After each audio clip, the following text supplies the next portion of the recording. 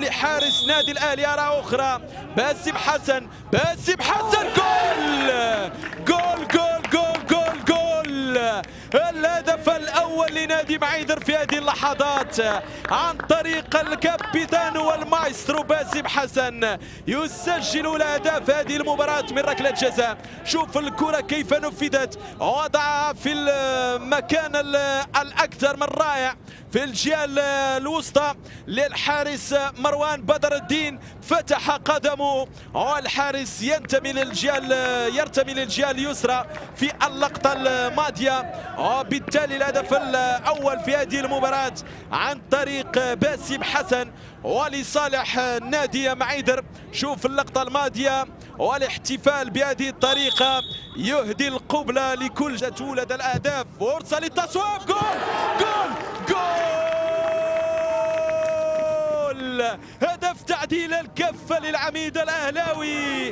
هدف تعديل الكفة عن طريق بطاوي. هدف جميل جدا من خارج مستطيل العمليات. قلت بأن الضغط يولد الانفجار انفجار عن طريق اللاعب عبد الرحمن البطاوي. شوف الكرة كيف حضرت من أحمد حسين. المراوغة تحضر الكرة. استلم الكرة. صوب الكرة. قوية جدا. قوية جدا على الحارس مطر سالم. هدف تعديل الكفة للعميد الأهلاوي. غاب كثيرا هذا الهدف على مدار 78 دقيقة. يأتي على بعد 12 دقيقة من نهاية هذه المباراة.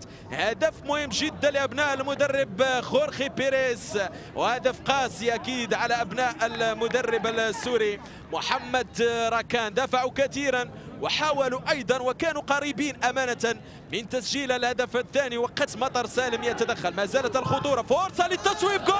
جول! جول! الثاني الثاني الثاني. أحمد حسين يقضي على امال نادي معيدر في هذه اللحظات. هدف قاسي وقاسي وقاسي وقاسي جدا. دافعوا كثيرا. يأتي هدف الثاني في هذه اللحظات. هدفين ربما في أقل من خمس دقائق أو أقل من ذلك بكثير. عن طريق أحمد حسين. تصويبتين متتاليتين. شوف الكرة الماضية التدخل من مطر سالم. ثم التصويبه القويه من أحمد حسين. يقلبون الطاولة. هكذا هي الريمونتادا الاهلاويه شوف الكرة الماضية والتصويبة. مطر سالم قصر القامه تساعد هذا الحارس في التصدي للكرات العالية. وبالتالي الاهلي يعني يسجل الهدف الثاني ويخالف كل التوقعات. التوقعات التي كانت تقول بأن نادي معيدر يسير نحو تحقيق النقاط الثلاث. حقيقة كرة القدم أمرها غريب وغريب جدا. أمرها عجيب وعجيب جدا. أن تسجل هدف وتدافع كثيرا وتكون أنت الأقرب لتسجيل